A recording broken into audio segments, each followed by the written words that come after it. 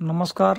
बारवी धरणग्रस्तांच्या नोकऱ्यांचे श्रेय बाणगुळ्यांनी घेऊ नये. आमदार किशन कथोरे.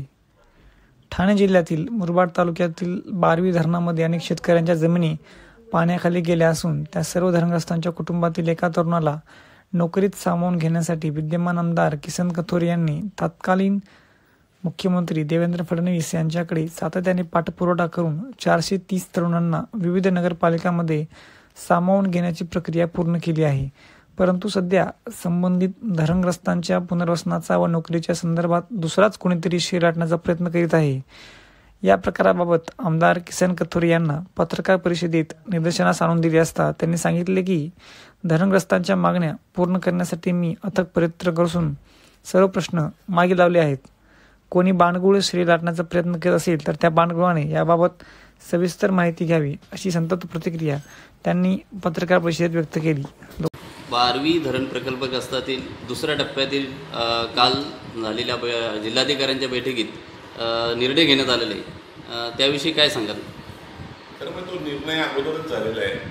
चारशे तीस मुलांना आपण चारशे अकरा सांगितलं.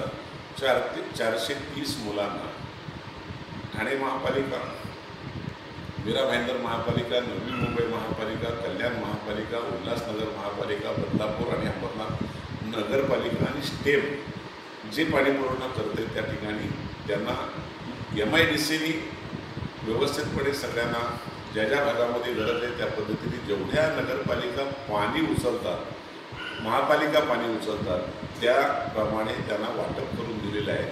त्याच्यामध्ये कोणीतरी गैरसमज करता येईल. आणि निश्चितपणे चुकीची माहिती जाते.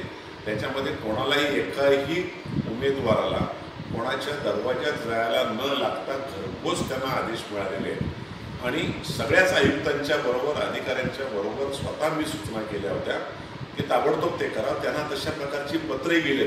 केवळ एम आय डी सीची नाही जिल्हाधिकाऱ्यांची नाही तर माझी पण पत्र मी त्यांना दिलेली आहेत की लवकरात लवकर या उमेदवारांना प्राधान्याने आपण काम करू. आपल्या या कामाचं श्रेय दुसरंच कोणतरी घेतं घेऊ पाहतं असं वाटतंय.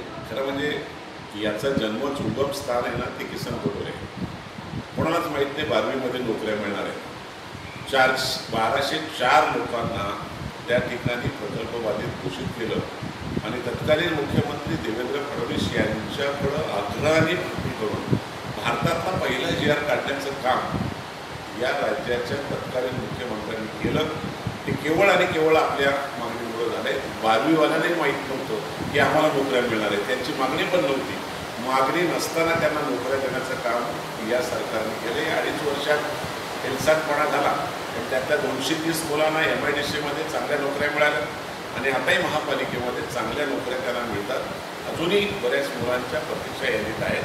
त्यामुळे ही काही बांडगुळं तयार होतात. आणि ती बांडगुळं खऱ्या अर्थाने मुरबाडचा कुठेतरी नाश करण्याचा प्रयत्न करत असतील. ज्याला काही त्यांनी बारवीच्या नावाने करोडो रुपयाची लूट केली ना ते त्याच्यामध्ये घुसलेले त्यामुळे जरा सावध राहा. लोकाधिकार न्यूज मुरबाड.